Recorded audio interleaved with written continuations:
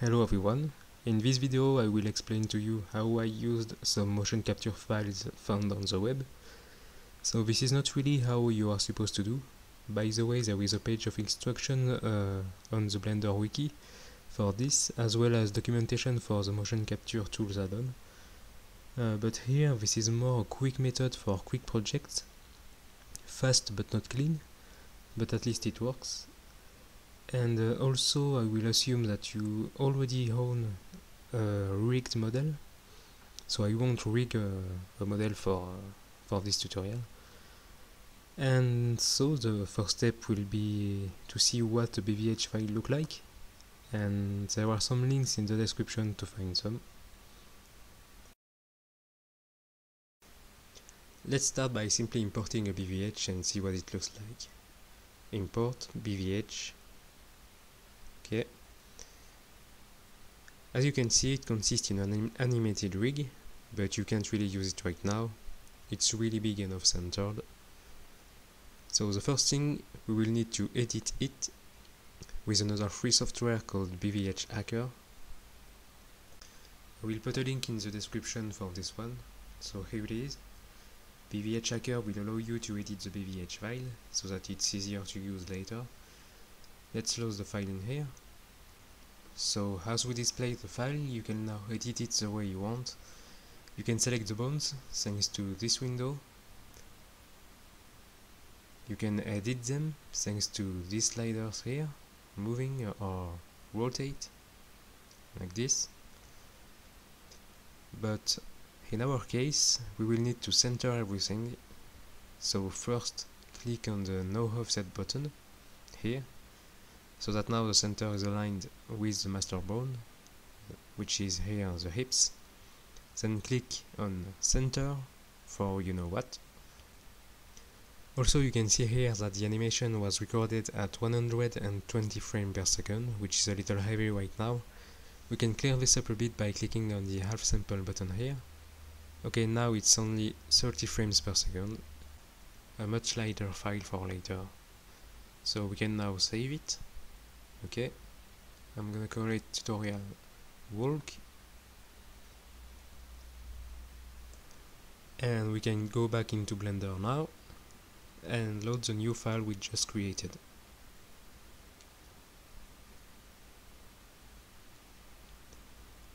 The difference now is that the rig is perfectly centered even if it's still really big. So I could scale it or rotate it in object mode or fix that earlier when I import it. You can see you have some, some options here. In my case I will just set the scale at 0.1 and click on import.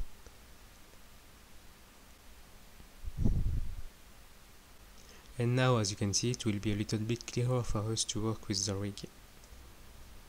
now that we have a friendly BVH file, let's see how I used it. I will open a new scene with my uh, character. So I'll come to the point where you already have a rigged character whatever the rig look like. This one has IK constraint but uh, pretty much any kind of rig will do. Okay so now if you allow me to I will just switch the display type. Okay and I can now import the BVH file into my scene. File, import, BVH. As you can see it's, it is still a little big, so I will scale it down to fit the size of my character's rig in object mode. So any changes, scale or rotation should be done in object mode. Now I will just move it back a little to see a little better what's going on. Like this. This is where the fun part begins where we will apply the constraints. Uh, but first for my rig I will just deactivate the IK constraint this will allow me to move the bone freely.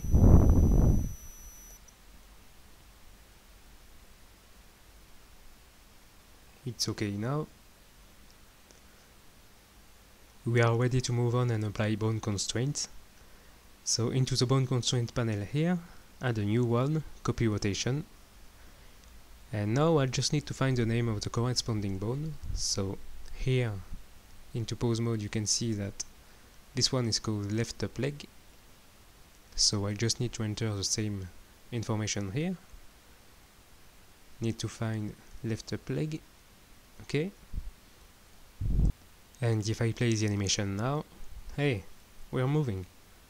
So don't mind about the foot, uh, this happens only because of the IK constraint.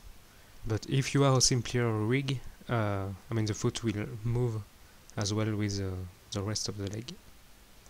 And now, as you might guess, this is all a matter of uh, adding constraints to each bones. So I will just speed the video while uh, I'm doing this. So right now I'm just adding the same uh, constraint to every other bones. And uh, well here there's been a little problem since I uh, I failed at entering the correct bone. Also in order to go a little faster add a copy rotation constraint to a bone and now select all the other bones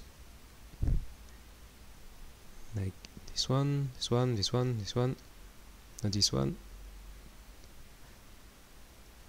Maybe if it will let me. Ah, okay. Press space and find the command copy constraint. Okay, copy. Ah. Copy constraint to selected bones. Okay. So you won't need to add it every time now. So just keep going and uh, just select the right bones for each bones.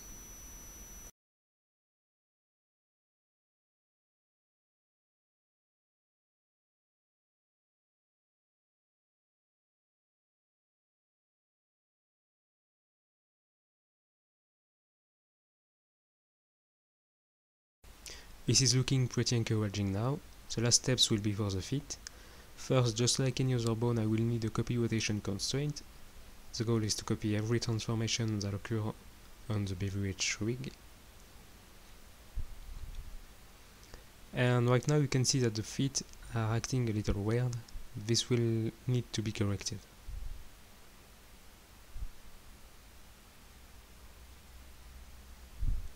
But I will just uh, keep on adding the last constraint, this time a copy location constraint, so the character will move around just like the BVH, so select the hips as uh, this is the master. And then for each one of the feet and once again this will be needed only if your look, looks like mine. Um, this is not an obligation.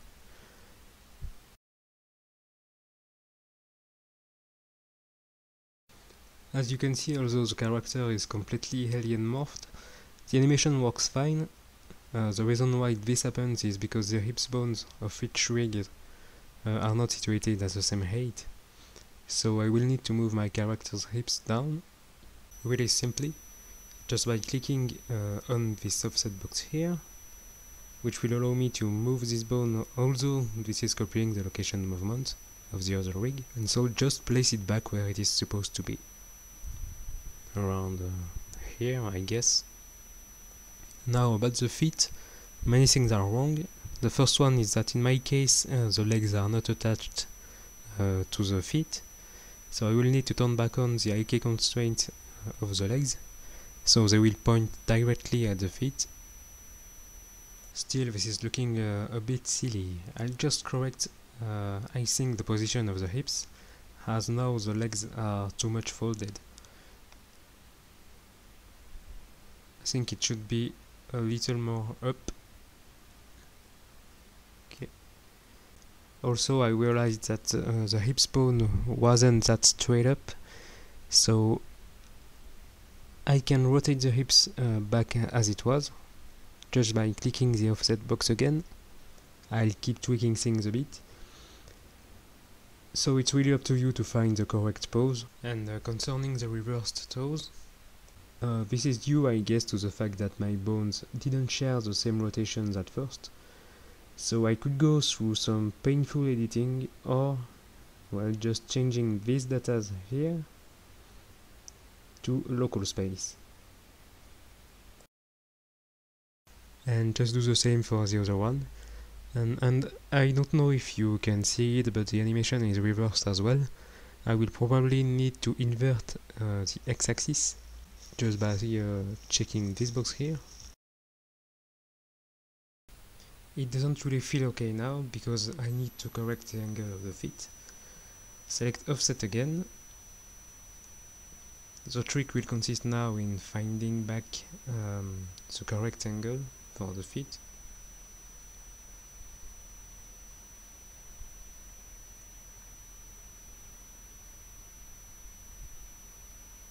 and I will need to do this uh, for each foot obviously.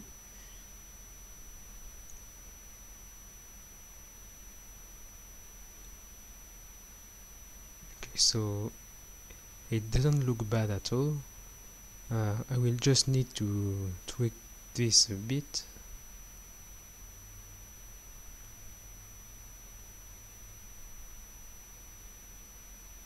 and well I could go and tweak this even more but now we have another problem. Uh, the arms right now it looks a bit silly walking like that. To correct this I will select the arm and change the type to local space and select offset. And now I can rotate the arm a bit so now it will feel uh, a little more natural. Okay this one as well and uh, now it looks a little better except uh, for the head which is really really weird right now. I think I'll do the same. So select the head and uh, change to local space offset and I will rotate it like this. And this is still uh, a bit weird so I will do the same for the neck. Local space local space offset rotate okay it's a little better now. And we are still some tweaks away from the final stage. Um, okay so I will move the BVH rig in another layer. I think he spreads his leg too much and this is probably because of my IK constraint. I could correct this um, like this moving this bone here okay so well this won't be perfect for now. You could tweak this for hours. I will stop this right now and show you something cool I can do. So the reason why I told you it was a quick way to work with is because you can adapt the animation really quickly. Let's say I need to change something. This is what I can do. So I will activate the offset for uh, the location of the feet. Okay and you will see that now I can create a new animation from this one. So uh, I think I will add a keyframe uh, here from this foot as well as here. And you can see that the animation keeps playing pretty much naturally. I can keep going and create a new action from this